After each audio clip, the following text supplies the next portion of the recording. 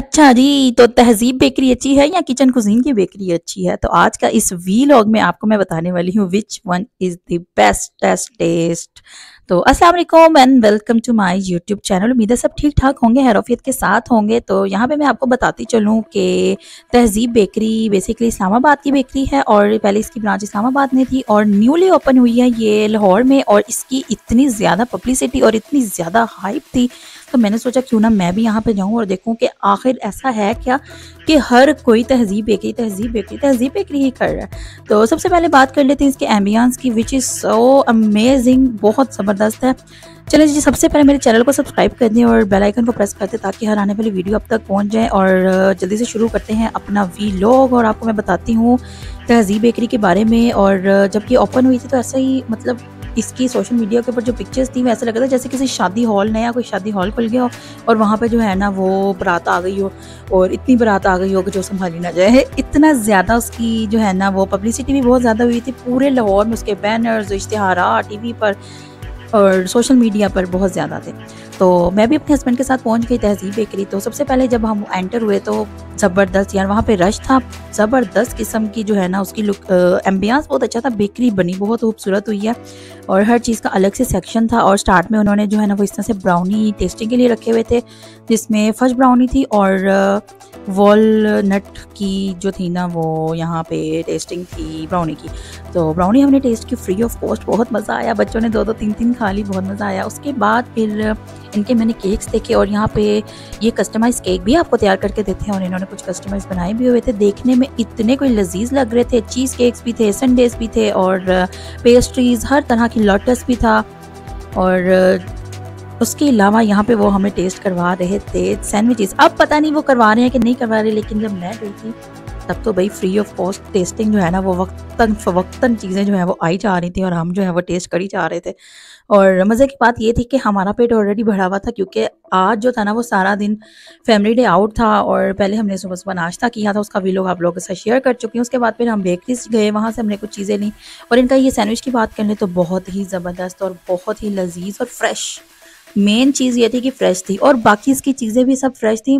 मतलब एक तो सोचने वाली बात है, इतना रश था तो ज़ाहिर सी बात है चीज़ें जैसे बनती बिकती जा रही हैं साथ साथ तो वो फ्रेश ही उनका तमाम चीज़ें ऑलमोस्ट फ्रेश ही थी क्योंकि साथ साथ उनकी सेल हुई जा रही थी और फिर फ्रेश वो ला के रखी जा रहे थे। तो हर चीज़ यहाँ पे अवेलेबल थी जो बेकरी में आप एक्सपेक्ट करते हैं कि एक अच्छी और बड़ी बेकरी में क्या क्या होना चाहिए तो उसकी बेकरी में रोल समोसे, शामी और इनके पास यहाँ पे स्टीम रोस्ट भी था। पैटिस भी थे यहाँ पर इनके।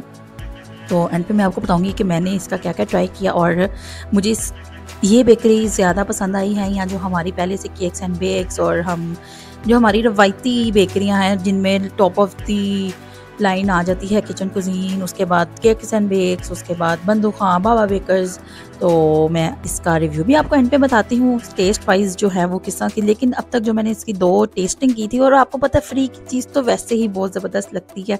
तो वो तो जो इन्होंने फ्री ऑफ़ कॉस्ट खिलाया था, वो तो ऑलरेडी बहुत ही मज़ेदार था।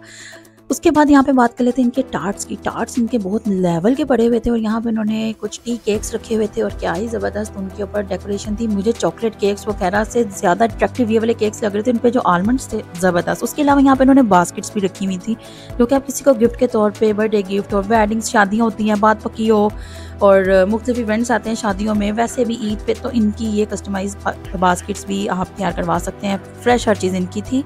उसके बाद हम पहुँच गए जी किचन कुजीन बेकरी भी और वहाँ से हमने इसका मुझे स्ट्रॉबेरी पफ बहुत पसंद है स्ट्रॉबेरी क्रीम पफ और इसका चॉकलेट क्लियर्स भी बहुत टेस्टी मेरा फेवरेट है। तो वही मैंने इसकी पेट, एक पैटिस लिया और चॉकलेट क्लियर ली इसकी और साथ में मैंने अपना पफ जो है वो वीडियो में आपको नहीं मैं दिखाऊँगी क्योंकि मैंने उस, उधर यहाँ नहीं था तहजीब बेकरी में तो इसलिए वो मैंने निकाल के पहले ही खा लिया। और रिव्यू में जो है ना मैंने जस्ट इन दो चीज़ों का किया था, क्योंकि क्रीम पफ और पैटिस जो है ना वो मेरी फेवरेट चीज़ें हैं बेकरी में अगर हम जाएँ तो वहाँ पे। तो अगर प्राइस की मैं बात कर लूँ तो kitchen cuisine it's quite expensive as compare to Tahzeeb bakery but taste की अगर बात करें तो टेस्ट में भी आपको पता है, फिर किचन कुजीन जो है ना, मैं कहूँगी कि नंबर वन पे है मेरे लिए।